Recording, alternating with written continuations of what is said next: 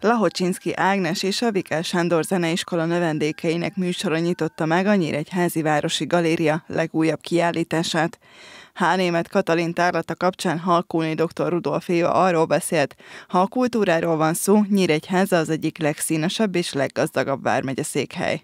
Nem múlik el Nyíregyházán olyan hónap, hogy bármilyen vagy valamilyen kulturális esemény ne történjen a városban. Nyíregyháza nagyon gazdag és színes kulturális életben büszkélkedhet. Az irodalom terén, a zeneművészet, a színház terén, a táncművészet terén, és ma a képzőművészetnek a egyik fellegvárában vagyunk a Városi Galériában.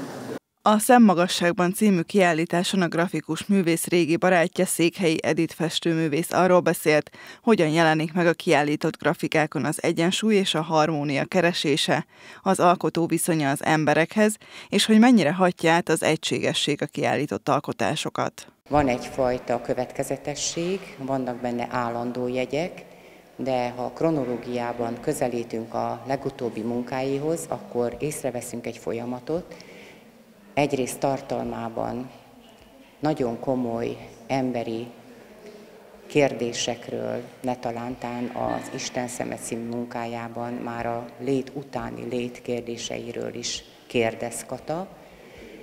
Megnövesz, megnövekszik a felület, és ezzel párhuzamosan összegződik a kifejezésmód, tehát tömörít. A kiállítás egyfajta életmű összegzés, hiszen láthatók benne korai alkotások, és mivel a grafikus művész a mai napig aktív, újabb képek is. A kezdetben is, meg mind a mai napig járok művésztelepekre, és az, a művésztelepek egyikén, ugye a korai szakaszban, megpróbáltam, hogy, hogy mi vagyok én tulajdonképpen. Megpróbáltam a plastikát, a festészetet, textilt, és akkor elkezdtem festeni.